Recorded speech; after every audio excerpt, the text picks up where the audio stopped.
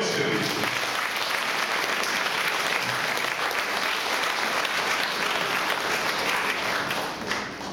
А я с удовольствием приглашаю на сцену певца и композитора Дмитрия Шведа.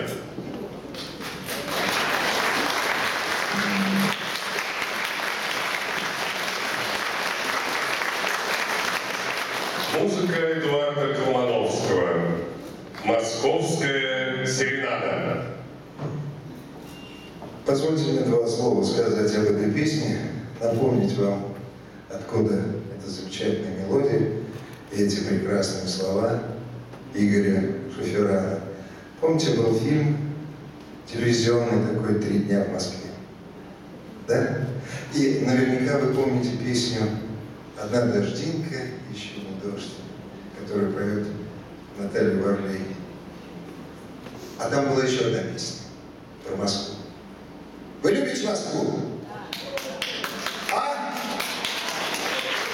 Что-то так жидко, а? Вы любите Москву? Ну вот, молодцы. Ты не просто город, о котором помню. Ты не просто город, а Москва. Вот это строки Игоря Шеферана. Давайте вспомним. Настя.